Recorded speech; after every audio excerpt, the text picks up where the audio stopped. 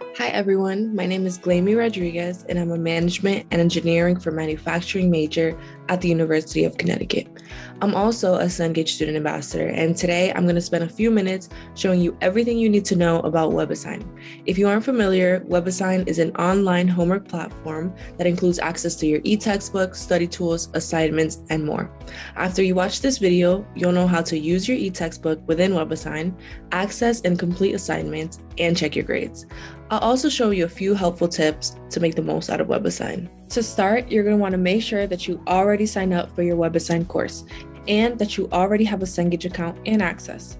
If you haven't already created an account, logged in, and accessed WebAssign, you're going to want to first visit startstrong.cengage.com. Learn how to register for your course before checking out the rest of this video. The first step to using WebAssign is logging in.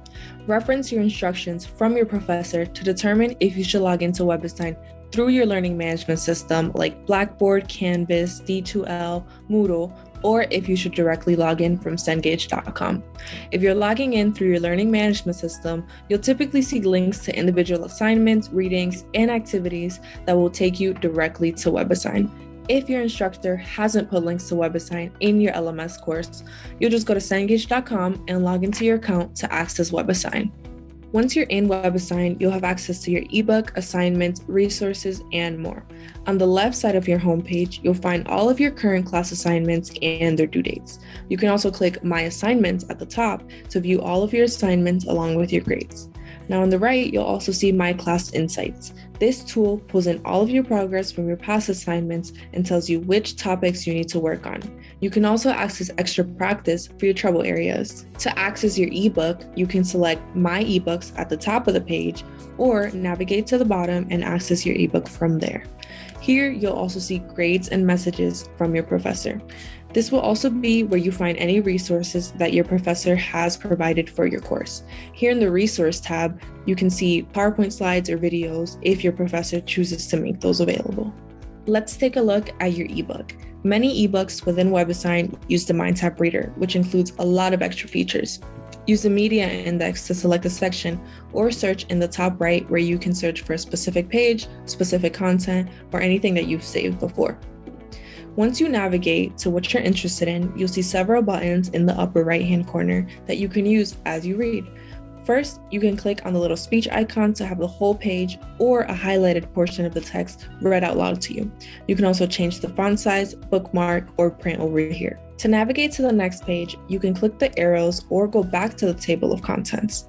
You can also see that some pages have videos and other content directly embedded. As you're reading, feel free to highlight any part of the page. Once you highlight, you can change the color, add notes, and add that section as a flashcard. All of your edits are saved within your ebook, so you can reference them later while studying. Let's take a look at a typical WebAssign assignment.